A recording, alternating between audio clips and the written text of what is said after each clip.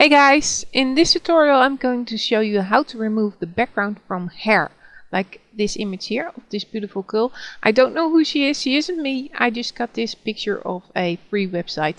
So um, let's just start. And uh, the first thing you always need to do when you start to remove the background is make sure that your image has an alpha channel because that means that there will be transparency in the image possible.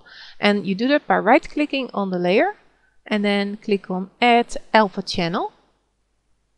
And now we are going to duplicate this layer by clicking on this button here. And we're going to make a layer mask in this uh, from this image.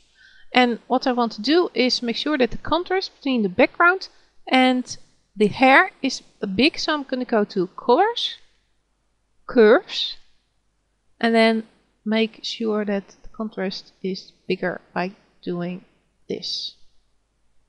As you can see the contrast between her hair and the background gets bigger and bigger and I want to, let's see, that's too much. I want the background to be almost white. Well, that looks nice and um, try when you do this to make the contrast, contrast as big as possible between the background and the hair. So I'm going to click OK with my curves here. And now I'm going to make the image black and white because a layer mask is always uh, black and white or gray tones. So I'm going to go to colors, desaturate. And in this image, luminosity gives me the best contrast. So I'm going to go with that and then click OK. And now, because the layer mask will show everything that is white in the layer mask will shine through and everything that is black in the layer mask will be masked. So we want the hair and the face to shine through and so we want to want that to be white.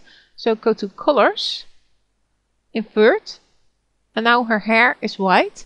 And all we need to do is make sure that everything else we want to shine through is white as well. So I'm going to go to my uh, paintbrush tool and make my foreground color white and use a big brush and then just paint her face white like this.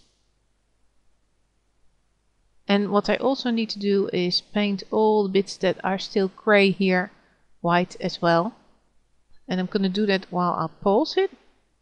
And there we go, I've got my uh, mask ready, almost ready, because I just noticed that in the corners it's still a bit white, so I'm gonna paint the corners black. And it's nice if that works. Like that. So now I've got my mask ready.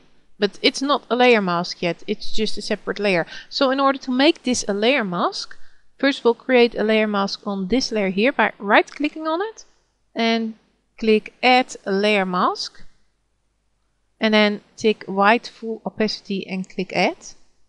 And now we're going to uh, copy and paste this one or cut and paste this layer into this layer mask. So click on this layer, go to edit, cut or Control C and then click on your layer mask. Make sure you click on your layer mask and then go to Edit, Paste or Control V.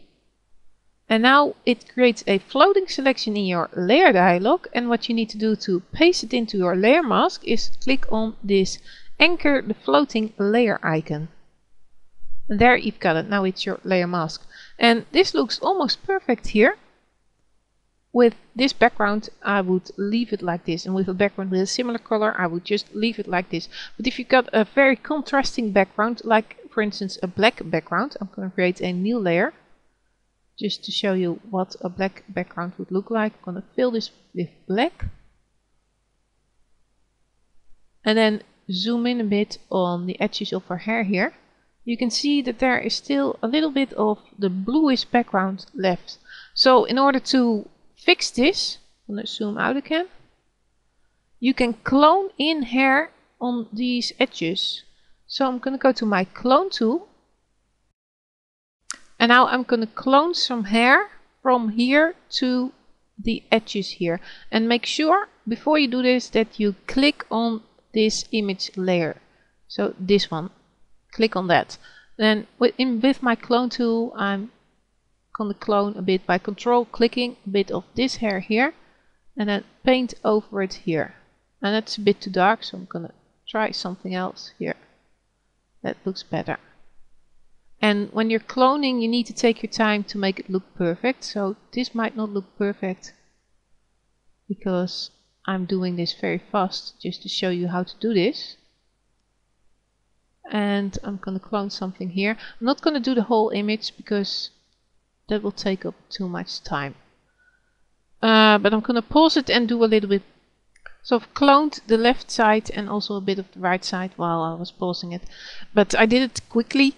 But uh, just to show you what the difference it makes, because uh, if I zoom in now on this same spot, you can see that there no longer is um, the background uh, color. There are no longer those traces of um, of gray and bluish background. It's all hair now. So that's how you make it perfect. As you can see, I didn't do this very well and it's still a bit grayish. So there needs to be a little bit of cloning here as well.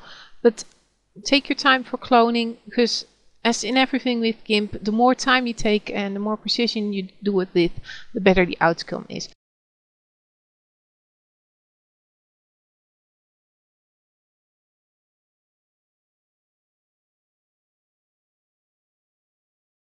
So this is how you make a cutout of hair using a layer mask that you created yourself from a different layer. And I hope this tutorial helped and if it did then maybe you'd like to watch my other videos and subscribe. And thank you for watching.